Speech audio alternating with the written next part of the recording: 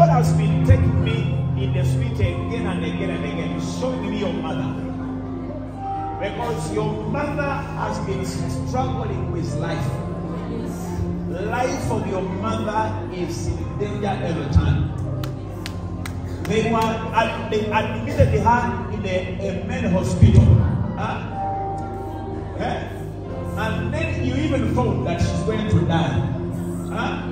And you said, My mother went to die. Huh? Yes. And then this man was forgiven. Uh-huh. Yes. And, and, and, and everyone in your family had that fear because you thought she's going to lose her life. The Lord is telling me your mother is going to be well. Your mother is going to be strong. God has added other years to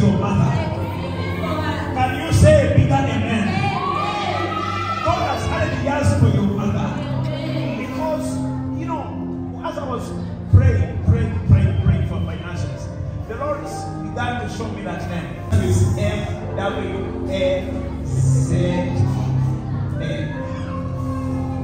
Yes.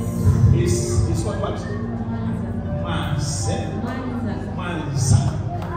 Mansa. Because I saw the writing, I saw the video writing that name. And the Lord spoke to me that your mother will not die. Amen. Huh? Your mother will not die. Amen. As I pray for you now,